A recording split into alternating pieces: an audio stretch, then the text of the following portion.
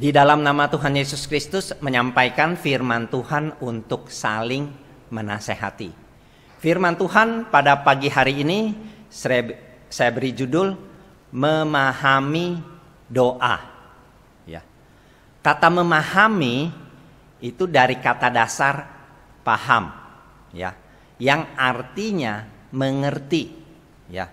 Memahami berarti mengerti benar atau mengetahui dengan benar. Ya, memahami doa adalah mengerti dengan benar tentang doa tersebut.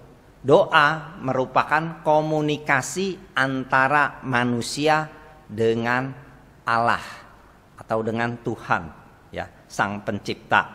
Ya, kalau dalam bahasa Indonesia doa itu ada tiga huruf. D O A ya. D-nya itu dari kepanjangan dialog O-nya orang A-nya Allah.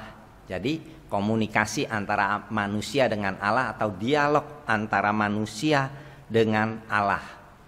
Kalau saya sering dengar bahasa Mandarin doa itu adalah taukau saya pikir tahu kau, tahu kau.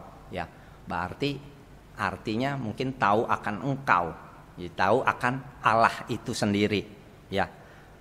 Nah, kalau kita lihat doa merupakan sesuatu yang sangat penting sekali. Tetapi banyak orang bingung dalam penerapannya. Ya, orang disuruh berdoa, berdoa, berdoa dalam penerapannya. Seringkali manusia itu salah di dalam penerapannya. Ya, masih terdapat kesenjangan antara pentingnya dalam kehidupan kita berdoa dengan penerapannya. Ya. Doa menjadi bagian penting dalam kehidupan kita karena doa merupakan sesuatu yang diajarkan oleh Tuhan kita, oleh murid-muridnya kepada kita semua. Kalau kita lihat apa nasihat uh, Rasul Paulus kepada jemaat di Tesalonika. Ya, kita tahu bahwa Alkitab ini terdiri dari 66 kitab. Ya, dari 66 kitab ini kalau kita lihat pasalnya jumlahnya 1189 pasal. Kalau dari ayatnya 31.102 ayat. Tapi dari 31.102 ayat ini ya, kita lihat ada pengajaran yang penting yang kita lihat sesuatu yang diberikan kepada kita. Ayat yang terpendek yang tertulis di dalam Alkitab itu nasihat Rasul Paulus kepada jemaat di Tesalonika. Dikatakan apa? Mari kita sama-sama buka di dalam kitab 1 Tesalonika pasal yang kelima 1 Tesalonika 5 ayat yang ke-17. Ya. Ayat 17, tetaplah berdoa. Hanya ada 14 huruf. Ya. Huruf itu kita lihat tetaplah berdoa. Jadi kita diajarkan oleh Rasul Paulus ya yang merupakan salah satu rasul boleh dikatakan rasul yang terbesar. Karena firman Tuhan sebagian besar ya ditulis oleh dia terutama di dalam perjanjian baru. Banyak surat-surat Rasul Paulus diberikan kepada jemaat-jemaat. Nah dalam tulisannya dia itu kita diajarkan untuk tetap berdoa. Senantiasa kita harus dalam keadaan apa pun kita harus berdoa baik senang, baik susah, baik apa saja, tetap berdoa. Nah, di sini kita diajarkan kenapa atau mengapa kita harus selalu berdoa. Dengan senantiasa kita berdoa, kita dapat membangun hubungan yang kokoh antara kita itu dengan Tuhan dan memungkinkan ya lambat laun iman kita itu bisa semakin hari bisa berakar di dalam Tuhan. Apalagi kalau kita lihat dalam masa-masa yang penuh pencobaan, ya. Hati kita biasanya kalau kita sering berdoa, maka hati kita akan merasa lebih tenang daripada orang yang tidak berdoa. Nah, ini sehingga Rasul Paulus pun menasehatkan kepada jemaat di Filipi. Ya, di dalam kitab Filipi pasal yang keempat ayat yang keenam sampai dengan ayat yang ketujuh. Kitab Filipi pasal yang keempat ayat 6 dan ayat yang ketujuh. Saya akan bacakan.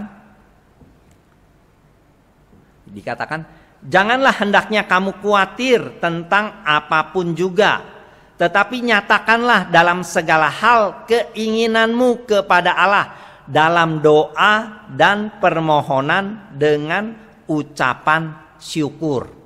Tujuh, Damai sejahtera Allah yang melampaui segala akal akan memelihara hati dan pikiranmu dalam Kristus Yesus. Di sini jelas sekali ya, janganlah hendaknya kamu khawatir tentang apa pun juga. Ya. Tetapi dikatakan nyatakanlah dalam segala hal. Nah, dikatakan nyatakanlah dalam segala hal keinginanmu kepada Allah. Ya, dalam apa?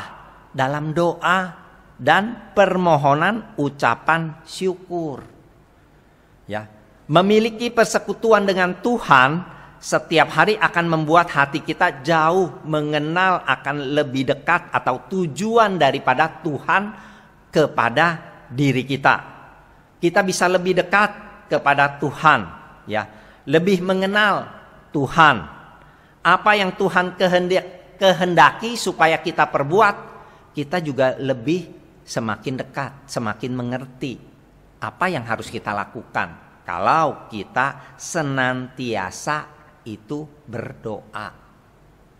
Ya, kita masuk bagaimana seharusnya kita berdoa itu, ya dalam kita berdoa kita harus melihat ya atau memeriksa isi dari doa kita. Kita boleh memohon dalam segala hal keinginan kita. Tapi pada saat kita berdoa, berdoa, berdoa kepada Tuhan, cobalah kita koreksi isi dari doa-doa yang kita panjatkan kepada Tuhan. Apa isinya? Ya, sering kali doa-doa kita lama dikabulkan oleh Tuhan. Kenapa? Ya, yang pertama, kalau kita perhatikan, kita sering kurang tekun berdoa. Ya, kita doa set nggak ditekunin. Karena kurang tekun, otomatis kita itu kurang fokus di dalam kita berdoa. Ya, pokok-pokok doa yang harus kita doakan buyar. Saking banyaknya kita berdoa, akhirnya kita lompat, lompat, lompat, lompat. Ya, beberapa tahun yang lalu pernah saya menguraikan mengenai fokus di dalam doa-doa kita. Dengan cara apa? Dengan tak cara Tuhan memberikan lima jari. Lima jari ini masing-masing jari mempunyai fungsi masing-masing. Ada yang disebut ibu jari. Nah, kita tahu yang disebut ibu jari. Ibu namanya ibu yang menaungi semua jari-jari. Jadi kita fokus fungsi ibu jari, fungsi dari ibu, sesuatu yang penting, sesuatu yang yang bisa menaungi semua. Siapa orang-orang yang kita kasihi? Siapa keluarga kita? Kita fokus doa. Saya melihat banyak ya di antara kita di dalam satu keluarga belum sepenuhnya percaya kepada Tuhan yang benar. Ini fokus nggak kita? Kita jangan hanya minta doa, minta doa, kita sendiri nggak fokus di dalam berdoa untuk keluarga kita, untuk pasangan kita, untuk saudara-saudara kita. Ini harus ada kerjasama. Ya, kita lihat, kita belajar dari Tuhan Yesus. Tuhan Yesus datang ke dunia ini. Dia pada umur 30 tahun mengabarkan Injil. Pada saat dia mengabarkan Injil, saudara-saudaranya pun tidak menerima Tuhan Yesus. Dia selama tiga tahun. Tapi pada akhir hayat daripada Tuhan Yesus, kita lihat kelanjutannya. Saudara-saudaranya bisa satu persatu menjadi sokoh guru. Ya. Nah ini Yakobus kita lihat pada saat sidang di Yerusalem. Dia menjadi sokoh guru yang memimpin sidang itu. Siapa dia Yakobus? Bukan murid Tuhan Yesus. Karena murid Tuhan Yesus Yakobus pada saat itu sudah meninggal. Jadi itu adalah adik daripada Tuhan Yesus. Nah, itu fokus. Ya, kita sering kali di dalam doa kita itu kurang tekun. Kurang tekun akhirnya kurang fokus, akhirnya tidak menghasilkan sesuatu yang kita tuju. Kita belajar dari perumpamaan yang Tuhan Yesus berikan kepada kita di dalam kitab Lukas pasal yang ke-18. Kita lihat kitab Lukas pasal yang ke-18 ayat yang pertama sampai dengan ayat yang ke-8 saya akan bacakan secara cepat. Perumpamaan tentang hakim yang tidak benar, ya. Satu, Yesus mengatakan suatu perumpamaan kepada mereka untuk menegaskan menegaskan bahwa mereka harus selalu berdoa dengan tidak jemu-jemu. Dua, katanya, dalam sebuah kota ada seorang hakim yang tidak takut akan Allah dan tidak menghormati seorang pun. Tiga, dan di kota itu ada seorang janda yang selalu datang kepada hakim itu dan berkata, "Belalah aku terhadap lawanku." Empat, beberapa waktu lamanya hakim itu menolak tetapi kemudian ia berkata dalam hatinya, walaupun aku tidak takut akan Allah dan tidak menghormati seorang pun. Lima, namun karena janda ini menyusahkan aku, baiklah aku membenarkan dia supaya jangan terus saja ia datang dan akhirnya menyerang aku. Enam, kata Tuhan, camkanlah apa yang kukata dikatakan hakim yang lalim itu. Ya. Tujuh, Tidakkah Allah akan membenarkan orang-orang pilihannya yang siang malam berseru kepadanya? Dan apakah ia mengulur-ngulur waktu sebelum menolong mereka? Delapan, aku berkata kepadamu, ia akan segera membenarkan mereka. Akan tetapi jika anak manusia itu datang, adakah ia mendapati iman di bumi? Kita lihat perumpamaan tentang hakim yang tidak benar dan janda yang tidak pernah putus asa. Terus, terus, terus. Hakim itu tidak benar. Akhirnya, hakim yang tidak benar, hakim yang tidak percaya kepada Allah, dia mau menolong janda yang memohon kepadanya. Nah, bagaimana dengan Allah? Allah itu adalah Allah yang sangat benar nggak akan mungkin seperti hakim yang lalim yang tidak benar. Pasti dia akan lebih cepat menolongnya. Tapi dia menolong kita itu menurut waktu daripada Tuhan. Nah, sering kali kita itu tidak sabar. Maunya ini hari, maunya kita mohon sekarang, sekarang juga tergenapi. Nah, ini yang sering kali doa-doa kita itu isi daripada doa kita itu sering kali lama untuk dikabulkan. Ya. Yang kedua, ya, kita kurang ucapan syukur. Dalam kita berdoa, kita nggak ada ucapan syukur. Ya, Nah ini sering kali yang menyebabkan akhirnya kita sama seperti bangsa Israel. Ya, bangsa Israel dipimpin oleh uh, Tuhan melalui Musa keluar dari e, Mesir menuju tanah Kanaan. Pada saat mereka keluar, itu jumlah penduduk bangsa Israel pada saat itu, jumlah orang-orang Israel itu kurang lebih 2 juta orang. Jumlah yang sangat besar sekali. Ya. Dia pimpin keluar dari Mesir. Belum sebulan apa yang terjadi? Mereka sudah bersungut-sungut kepada Tuhan. Belum sebulan.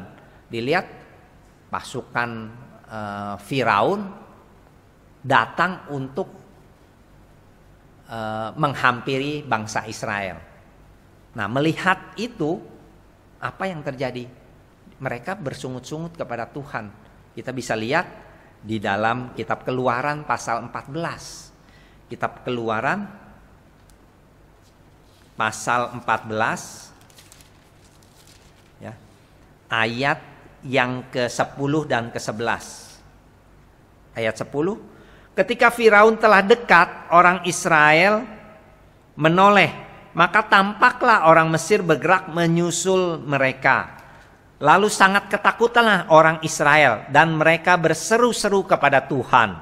Dan mereka berkata kepada Musa, Apakah karena tidak ada kuburan di Mesir, maka engkau membawa kami untuk mati di padang gurun ini? Apakah yang kau perbuat ini terhadap kami dengan membawa kami keluar dari Mesir? Nah kita lihat, ini perjalanan belum sampai sebulan, mereka udah bersungut-sungut kepada Tuhan. Ya, padahal sebelumnya kalau kita lihat, wah dia gembira, dia bersorak-sorai, dia bisa memuji Tuhan. Akhirnya ada kena kasus sedikit saja, mereka sudah bersungut-sungut kepada Tuhan. Nah, oleh karena itu, ya, kita pun dinasihatkan kepada Rasul Paulus di dalam kitab 1 Tesalonika pasal 5, ya tadi ayat 17 terpendek, ini kelanjutannya ayat 18. Apa yang Tuhan uh, inginkan daripada kita? 1 Tesalonika pasal 5 ayat yang ke 18. Ayat 18 dikatakan Mengucap syukurlah dalam segala hal, sebab itulah yang dikehendaki Allah di dalam Kristus Yesus bagi kamu. Jadi setelah kita tetap berdoa, mengucap syukurlah senantiasa. Ya, mengucap syukurlah dalam segala hal. Jadi dalam segala hal, jangan dalam keadaan kita sukacita, kita senang, kita mengucap syukur tapi dalam keadaan kita menderita, dalam keadaan kita memohon pertolongan daripada Tuhan, hendaklah kita mengucap syukur. Nah, apalagi dalam situasi sekarang ini, pandemi COVID-19 ini, yang kita lihat sudah melanda dunia ini, ya, udah lebih dari satu tahun. Masuk Indonesia hampir satu tahun. Masuk Indonesia awal daripada Maret, ya sekarang udah pertengahan daripada boleh bilang dua per 3 dari bulan Februari ini. Nah bisa nggak kita tetap mengucap syukur? Banyak orang-orang ya yang terhadap keadaan COVID-19 ini ya awalnya bisa mengucap syukur tapi lambat laun kok begini terus ya? Kok begini? Ini terjadi. Kita lihat ya kalau kita mau belajar dari sejarah ya satu tahun sejak berdirinya gereja Yesus Jati di muka bumi ini ya tahun 1917 tahun 1918 wabah flu Spanyol. Ya itu hampir dua tahun kita lihat. Baru selesai. Jadi satu tahun setelah berdirinya gereja Yesus Jati di dunia ini. Ya, kita lihat. Setelah kita peringati 100 tahun berdirinya gereja Yesus Jati tahun 2017. Masuk tahun 2019, akhir dari tahun 2019 Covid-19. Jadi yang kedua 100 uh, dua tahun kemudian. Ya kurang lebih. Ya, kalau kita lihat kurang lebih kalau mau selesai ya dua tahun. Tapi dengan keadaan baru kita satu tahun, jangan kita letih, jangan kita lemah, jangan kita tidak waspada. Kita tetap ucapan syukur kepada Tuhan. Kita diberi masih diberi kesehatan. Ya, kita senantiasa coba. Nah, ini ya, ucapan syukur-syukur inilah ya. Nah, sekarang kita masuk mengapa doa kita tidak dikabulkan. Yang pertama, kalau kita lihat ya, kita sering kali memaksa kehendak diri kita atau kehendak manusia. Ya, kita tidak boleh memaksa kehendak kita di atas kehendak daripada Tuhan. Sama seperti di dalam kitab Filipi pasal 4 ayat 6 tadi jelas sekali.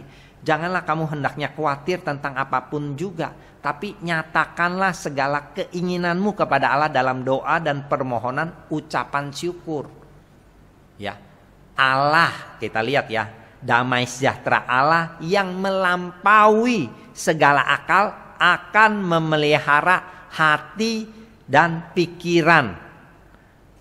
Pikiran kita dalam Kristus Yesus. Ini. Jadi di dalam kita berdoa kita jangan memaksa keinginan kita. Kita boleh meminta apa saja tapi di dalam kita berdoa itu harus kita sadari mutlak keputusan itu adalah keputusan daripada Tuhan. Sama seperti Tuhan Yesus mengajarkan kepada murid-muridnya tentang berdoa. Kemarin juga telah diuraikan oleh pendeta ya tentang doa Bapa kami. Di dalam doa Bapa kami, kalau kita lihat Matius 6 ayat 10, Jadilah kehendakmu di bumi seperti di surga. Jadi mutlak. Allah. Nah Tuhan Yesus pada saat datang ke dunia ini. Sama. Dia pun bisa mengamalkan Matius pasal 6 ayat 10 ini. Sehingga pada saat dia berdoa di taman Getsemani itu. Di dalam kitab Matius pasal 26 ayat 39. Ya, ya Bapakku Jikalau sekiranya mungkin biarlah cawan ini lalu daripadaku. Nah Tuhan Yesus mau nggak disalib? Secara manusia dia tidak mau. Berlalulah cawan ini. Ya, tetapi janganlah seperti yang ku kehendaki. Melainkan seperti yang engkau kehendaki. Nah ini penting. Jadi jangan kita memaksa kehendak kita yang terjadi, tetapi hendaklah kita serahkan kepada Allah. Ini sering kali timbul suatu perdebatan ya, perdebatan semua ya mengenai contoh memaksa kehendak kita. Salah satu contoh di dalam melamar pekerjaan ya. Kita boleh nggak kita berdoa kepada Tuhan kita sudah sarjana, misalkan sarjana teknik, sarjana arsitek atau sipil. Kita berdoa di dalam kita mencari suatu pekerjaan, ya Tuhan, ya tolong beri kami pekerjaan yang sesuai dengan apa yang telah saya pelajari. Boleh nggak? Boleh. Tapi kita lihat Jangan kita maksakan. Ada orang yang nawarin pekerjaan ini, ini, ini, ini, kita tetap tolak, tolak, tolak, tolak. Ya, sehingga pada minggu yang lalu, ya saya pernah uh, berbincang-bincang pada saat podcast, ya, kepada orang yang uh, merekam podcast tersebut. Kok saya ini sarjana, sarjana sipil. Saya bilang sama dong sama saya. Ya saya pertama juga nyari pekerjaan yang sesuai dengan bidang saya. Doa, doa, doa terterus dia bilang. Kok nggak ada ada panggilan? Akhirnya saya dipanggil jadi suatu perusahaan asuransi. Saya tanya, terima nggak? Ya terima. Ya benar saya bilang. Mungkin itu jawaban Tuhan. Ya, untuk satu proses. Nah, dari proses itu coba kamu fokus, saya bilang. Fokus terus. Jangan baru segini enggak mau ah maunya ini. ada jurusan ini nggak sesuai, kita nolak, kita nolak, kita bersungut-sungut ke Tuhan. Tuhan, kenapa kok engkau enggak dengar-dengar doa saya? Ya karena doa saya ini adalah menurut kehendak saya, bukan menurut kehendak Tuhan. Ya, banyak juga terus uh, suatu renungan-renungan mengenai uh, doa ini yang menurut kehendak. Selalu ya dulu sering kali diuraikan. Nah, ini zaman hujan, banjir, kita tahu ya ada pendeta yang sudah memenangkan jiwa satu desa. Ya. Satu desa itu aturan tidak percaya Tuhan, tapi oleh pendeta ini semua penduduk desa itu akhirnya bisa percaya kepada Tuhan. Nah, akhirnya suatu ketika datang hujan cukup lebat sehingga menyebabkan banjir. Nah, pendeta tersebut berdoa di bait Allah ya, di di gerejanya dia berdoa Tuhan pimpin saya, Tuhan pimpin saya. Akhirnya udah banjir-banjir sepinggang ya jemaatnya lewat ke depan gereja, panggil pendeta, ayo pendeta kita ngungsi. Oh enggak, enggak perlu. Pendeta itu berkata enggak perlu. Tuhan pasti tolong kok. Saya udah bekerja untuk Tuhan. Lihat satu pendu, pen, uh, satu desa ini udah percaya ke Tuhan, pasti Tuhan tolong. Nah, itu yang terjadi. Lewat orang kedua udah semakin tinggi. Ya, pakai boot udah mulai mau dijemput pendeta nggak mau juga lewat. Akhirnya pendeta dari itu sampai se banjir itu sampai seatap gereja. Nah, pendeta itu ada di nongkrong di atas atap. Ada lagi kita lihat ada helikopter lewat ya. Nah kebetulan pen, yang supir dan yang lain itu ada jemaat dia. Ajak lagi pendeta, ayo pendeta kita ngungsi. Dengan diturunkannya tangga ya di atas itu. Oh nggak perlu, Tuhan pasti tolong saya. Akhirnya pendeta tersebut terus terus terus mati. Nah, pendeta tersebut akhirnya bertanya ke Tuhan, Tuhan kenapa kok saya bisa matinya dari musibah banjir? Saya bukankah saya sudah bekerja untuk engkau? Bukankah saya sudah melayani engkau? Bukankah saya sudah memenangkan jiwa untuk engkau? Kenapa kok masalah begini banjir aja menyebabkan saya menjadi meninggalkan dunia ini? Apa yang dijawab oleh Tuhan? Udah tiga kali aku mengutus ya jemaatmu untuk membawa engkau ngungsi, engkau nggak mau. Nah itu sering kali di dalam uh, kehidupan kita sama seperti pendeta. Wah, kita sudah ini, kita udah ini, kita udah ini, akhirnya kita lewat juga. Kita jangan salahkan Tuhan. Seringkali kita tidak mengenal dengan jelas Tuhan.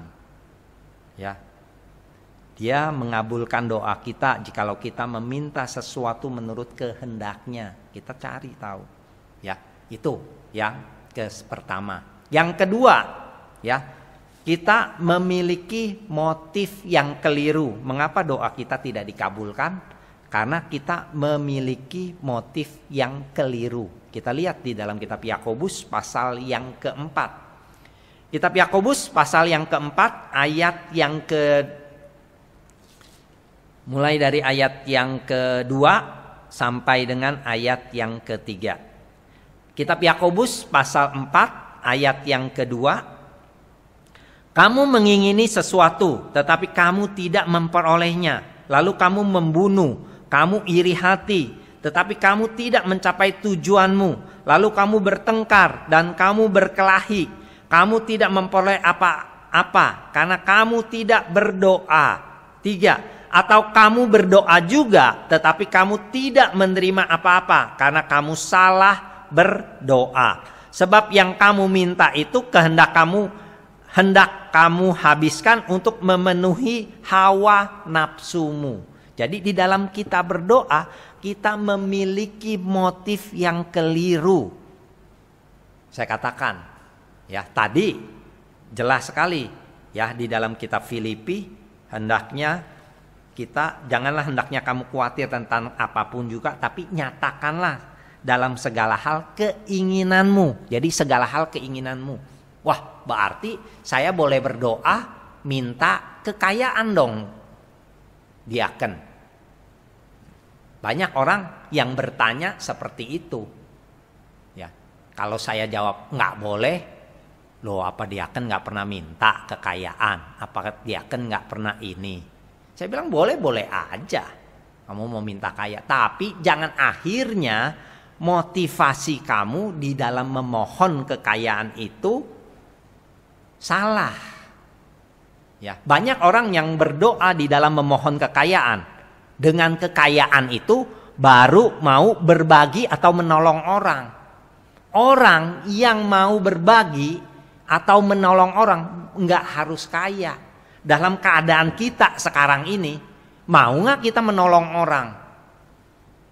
Ini Tuhan tahu motivasi kamu meminta kekayaan itu, sehingga akhirnya nggak dikabulkan. Nah ini yang harus kita sadari motivasi kita. Jangan kita memohon sesuatu baru kita mau menolong orang. Menolong orang bukan hanya harus kaya, biasa pun. Saya melihat sering kali orang-orang justru yang dalam keadaan kekurangan, dia bisa berbagi. Dia ada makanan dua, dia bisa berbagi kepada orang yang lain. Padahal untuk esok dia belum tentu ada makanan lagi, tapi dia mau berbagi. Ini kalau orang udah mencapai sesuatu yang mohon mohon mohon ya belum tentu motivasinya salah. Tuhan juga tahu. Tahu nggak? Pasti Tuhan tahu. Ada juga orang yang memohon apa? Wah karunia karunia karena dilihat waduh Rasul Paulus hebat ya. Punya karunia penyembuhan luar biasa. Sapu tangan yang bekas dia lap-lap. Ya keringet dia yang pernah dia pakai diletakkan kepada orang yang sakit, orang sakit itu bisa sembuh. Wah, saya mohon ah.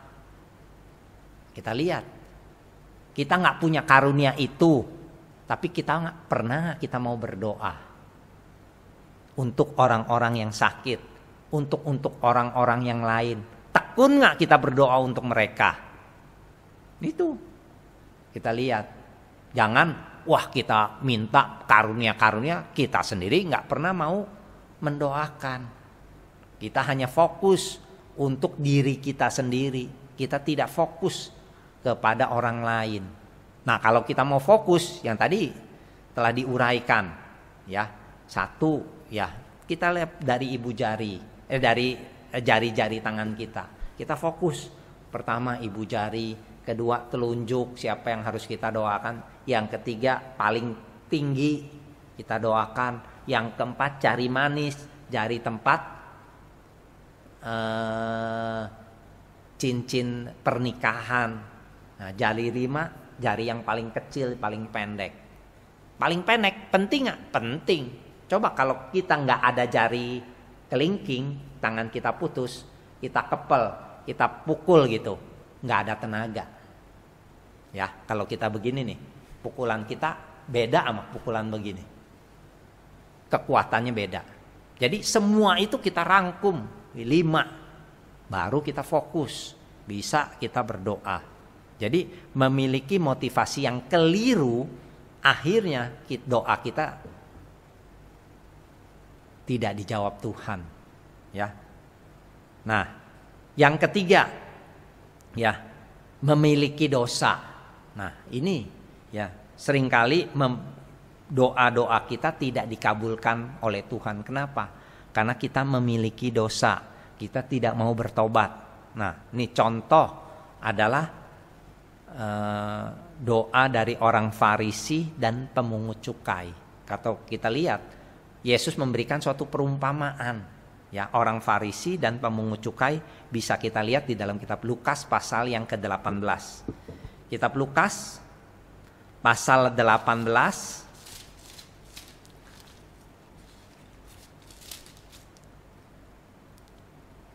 ayat yang ke-9 ya. Perumpamaan tentang orang Farisi dan pemungut cukai dikatakan dan beberapa dan kepada beberapa orang yang menganggap dirinya benar dan memandang rendah semua orang lain, Yesus mengatakan perumpamaan ini. 10. Ada dua orang pergi ke bait Allah untuk berdoa.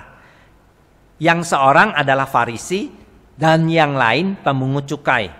Orang Farisi ini berdiri dan berdoa dalam hatinya begini. Ya, ya Allah, aku mengucap syukur kepadamu karena aku tidak sama seperti semua orang lain bukan perampok, bukan orang lalim, bukan pejina, dan bukan juga seperti pemungut cukai ini. Aku berpuasa dua kali seminggu, ya. Aku memberikan sepersepuluh dari segala penghasilanku. Kita lihat, ini yang didoakan oleh orang-orang Farisi. Hebatnya, mungkin kita lihat, kita perhatikan dengan apa yang kita telah lakukan selama ini kita bandingkan diri kita dengan orang Farisi ini. Ya, kita lihat ya. Aku tidak sama seperti bukan perampok. Kita perampok nggak? Pikirin, ya. Perampok bukan hanya mengambil terang-terangan. Kita lihat, kita mencuri nggak? Mencuri waktu, mencuri apa? Nah itu, ya. Nah itu satu, ya. Bukan orang lalim, ya bukan pejinah, bukan seperti pemungut cukai ini. Pemungut cukai ini konotasinya adalah orang yang suka memeras, ya memeras pajak. Benar juga pasti, tetap aja salah. Dicari-cari itu adalah pemungut cukai. Nah kita lihat kita dua, ayat 12-nya. Ya, aku berpuasa dua kali seminggu. Gereja ngadain puasa sebulan sekali aja saya lihat peserta mah semakin hari kalau nggak digemborin semakin kurang. Nih minggu ketiga puasa. Nah itu kita lihat. Bisa nggak kita lebih baik dari orang Farisi ini? Secara pelaksanaan kita nggak lihat dari rohaninya dulu lah. Secara pelaksanaan dia berpuasa dua kali seminggu. Bagus nggak puasa dua kali seminggu? Bagus. Ya, kita sebulan sekali aja gerakin gelindingnya susah. Nah ya, terus aku memberikan sepersepuluh dari segala dari segala penghasilanku. Nah ini kita lihat berikannya. Jangan kita lihat kan Tuhan tahu Tuhan sekarang kan masa covid masa susah usaha susah ya Tuhan maklumlah sekarang kurang-kurang dikit nggak apa-apa seper 20. Nah, itu kita ngatur. Jadi Tuhan yang kita atur, bukan kita menuruti apa aturan Tuhan. Nah, ini yang sering kali terjadi. Ya. Nah, memiliki dosa yang akhirnya kalau kita lihat pemungut cukai itu berdoa apa? Tetapi pemungut cukai itu berdiri jauh-jauh bahkan ia tidak berani mengadahkan ke langit melainkan ia memukul diri dan berkata, "Ya Allah, kasihanilah aku orang berdosa ini dia mau bertobat. Kalau kita nggak mau bertobat, doa kita gimana bisa didengar oleh Tuhan? Ini yang harus kita sadari. Ya, dalam satu hari ini, coba kita renungkan apa yang telah kita lakukan. Punya pikiran jahat, ya udah salah, udah dosa. Nah, segala semua coba kita memiliki sesuatu hal yang mengenai dosa, kita minta memohon pengampunan. Kita mohon pengampunan benar-benar sungguh-sungguh memang keluar. Jangan asal setiap hari pokoknya Tuhan ampunilah segala dosa dan kesalahan yang telah saya perbuat. Baik perkataan, perbuatan atau pikiran. Ya kita harus fokus. Kita salahnya di mana? Kita memohon doa kepada Tuhan. Sehingga kalau kita fokus untuk keadaan seperti itu kita nggak lakukan lagi. Tapi kalau kita nggak fokus, asal berdoa itu rutinitas, ya Tuhan kan tahu motivasi dari doa kita, dari permohonan pengampunan kita. Ini yang harus kita pelajari, kita fahami. Yang keempat ya, mengapa doa kita tidak dikabulkan? Karena tidak mau kita tidak mau mengampuni, orang yang bersalah kepada kita. Rintangan yang terakhir adalah tidak mau mengampuni. Nah, ini dalam doa Bapa kami kita dituntut ya, ampunilah segala kesalahan kami seperti kami juga mengampuni orang yang bersalah kepada kami. Nah, ini ini poin-poin utama. Coba kita mulai ya renungkan di dalam doa-doa kita ini.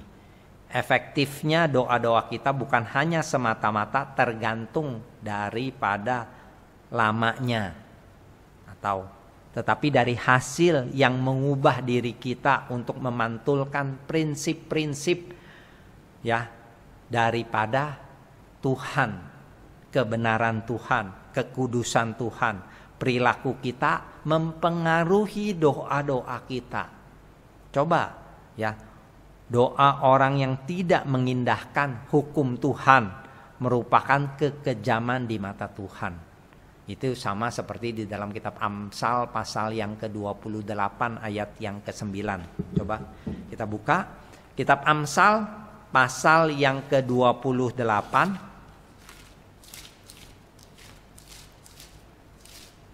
ayat yang ke-9. Siapa memalingkan telinganya untuk tidak mendengarkan hukum, juga doanya adalah kekejian. Jadi kalau kita memalingkan doa-doa kita atau tidak mendengarkan hukum Tuhan, tidak melaksanakan hukum Tuhan, doa-doa kita percuma. Nah, ini yang kita bisa mengapa kita doa kita tidak dikabulkan. Sekarang kita masuk bagaimana mengetahui bahwa doa kita ya sudah dijawab oleh Tuhan. Nah, ini sering kali kita itu tidak mereview akan doa-doa daripada kita. Yang pertama, kita harus dekat dengan Tuhan. Semakin kita dekat dengan Tuhan, maka akan semakin kita mengetahui kehendak daripada Tuhan. Untuk dekat dengan Tuhan, maka kita harus senantiasa berkomunikasi dengan Tuhan. Jadi kita mengetahui jawaban doa dari doa-doa kita juga.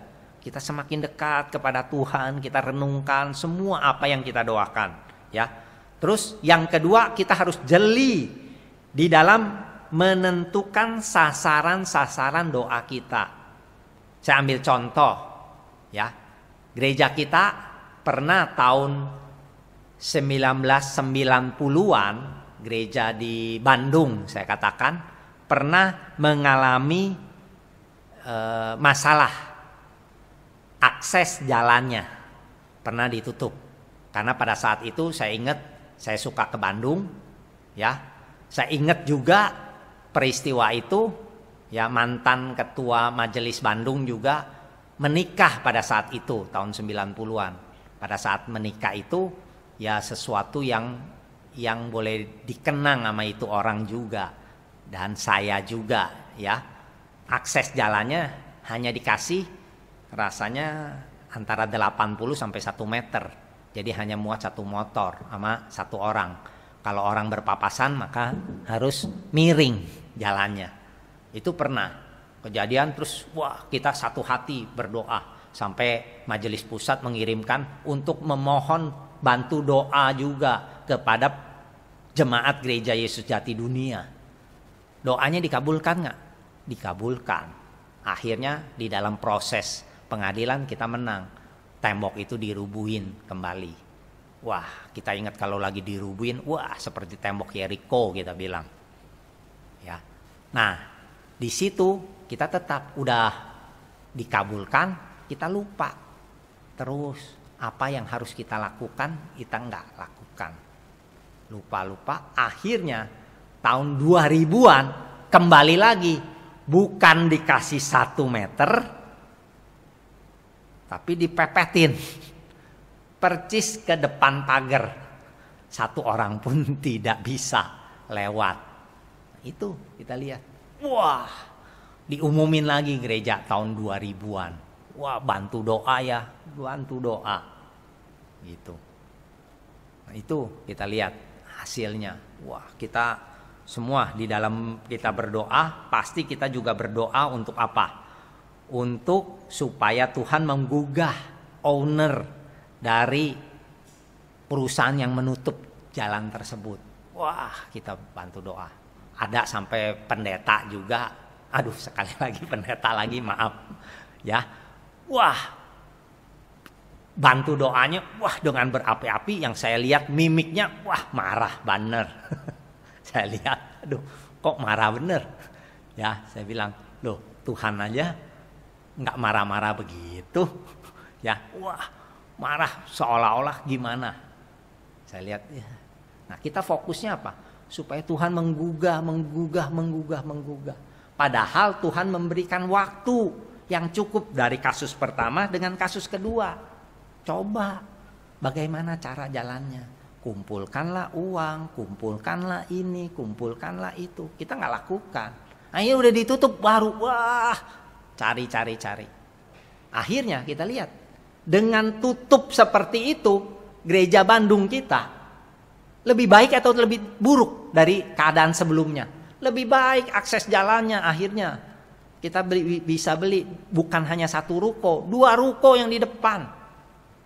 Kita lihat. Nah ini yang sering kali kita fokus di dalam doa kita itu salah. Kita hanya lihat dari sudut pandang kita. Kita nggak bisa lihat secara besar sudut pandang Tuhan. Kalau gereja Tuhan selalu di dalam, di dalam, di dalam. Ya. Yang akhirnya kita selalu takut. Wah, kalau depan. Kalau depan ntar ada kerusuhan gimana? Ya. Kalau kita satu hati, satu itu Tuhan pasti akan memimpin, bukan kita menantang, tapi kita bisa lihat campur tangan Tuhan. Nama Tuhan dimuliakan atau nama kita yang dimuliakan. Bukan Nah, itu yang kita harus pikirkan bagaimana kita harus ya jeli di dalam menentukan sasaran doa kita. Nah, jeli. Jadi sasaran doa kita bukan akses jalannya dibuka. Ya. Nama Tuhan bagaimana cara dimuliakan. Nah, ini yang harus kita renungkan di dalam kehidupan kita ber, berdoa kepada Tuhan, ya. Nah, yang ketiga, ya kita kurang follow up atas doa-doa kita. Apa yang telah kita doakan, kita nggak follow up. Kita doakan nih, yang tadi saya katakan, ibu jari, orang-orang yang kita kasihi, keluarga kita yang belum per, uh, percaya kepada Tuhan. Kita hanya doa, tapi pelaksanaannya untuk supaya mereka bisa percaya kepada Tuhan, ada nggak diri kita ini mau mengajak keluarga kita yang belum percaya itu kepada Tuhan untuk datang kepada Tuhan, untuk ikut sama-sama ibadah. Nah, ini di rumah, ikut sama-sama, ayo sama-sama. Ya, nah ini fokus. Kita fokus nggak? Ya, follow up nggak atas doa-doa kita? Ya, ke ibu jari kita doakan nggak? Siapa yang suka pakai telunjuk? Ya, yang ngujuk. Ya pasti guru-guru yang selalu tiap mengajaran gini. Guru-guru anak-anak kita ya dengan adanya Covid-19 ini itu banyak guru-guru juga stres. Ya.